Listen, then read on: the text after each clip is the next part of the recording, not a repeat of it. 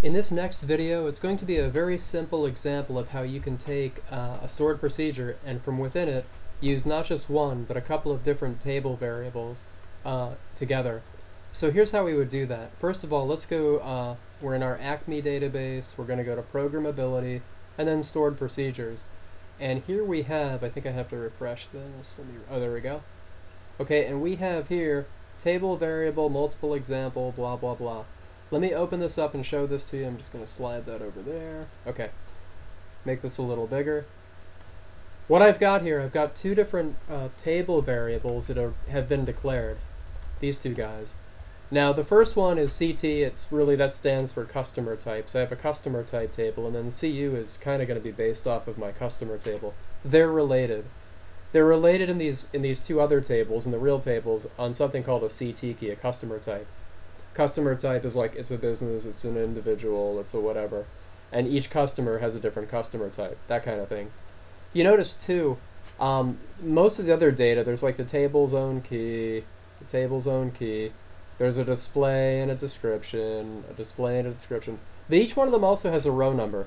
That's just, all that's going to be is like a, a numbering field that I can use, like a one, two, three, four, just an auto number. That's all it really is. Um, and in this, I always do that in my in my um, table variables, but it's not even going to matter here because we're not even going to actually use that, and we're never even actually going to see what these tables look like. Actually, you know, we could.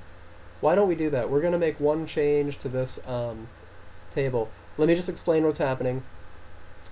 Once we declare them, the first thing I'm doing is I'm inserting the the seat the table variable called CT basically what I'm doing here is I'm inserting these three fields, the three fields it has other than the row number, and I'm just basically doing a straight select of those fields from the customer type lookup table, you know, right here. No big deal. Then down here, I'm doing a similar insert from the customer table into this CU table. I'm taking four keys, because it also has the lookup field, the foreign key, the CT key, to the other table. We'll need that. And then I'm just doing, uh, so to insert these, I'm just saying select these fields from this table, blah, blah, blah. And then at the end of the day, what we're doing at the very end is we're doing a select from these two table variables, which now are called CU and CT, because I named them up top, renamed them, gave them little synonyms. Um, and then basically we're going to take bits and pieces from each of the two tables, but we're going to do an inner join. Oh, here's where I named them. Duh, I lied. Don't listen to anything I say. Um, I'm going from the CT table and the CU table. I'm inner joining because they each have a CT key. So where the CT keys are equal, whoops, where this guy is equal to this guy, it'll join them up. But you know what, before we do that, let's just do a quick select um, so you can see what this is kind of um, looking like. And then we'll just copy that and do it again. Just so you can see like um, what's coming into these tables and then how it's deriving this data out. So let's let's do execute and then we'll do this. So we'll see a lot of stuff on here. We're going to execute table, variable, multiple example, blah, blah. Okay.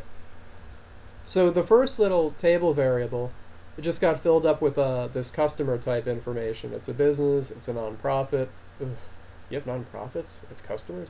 Didn't say that. Nobody said that and individuals. Like, you know, my parents are individuals, IBM is a company.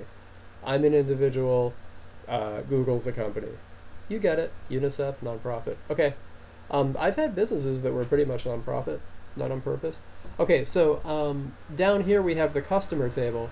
You know, we've just got, you know, random people that are in our system, you know, a couple of companies, a couple of people, a couple of other stuff.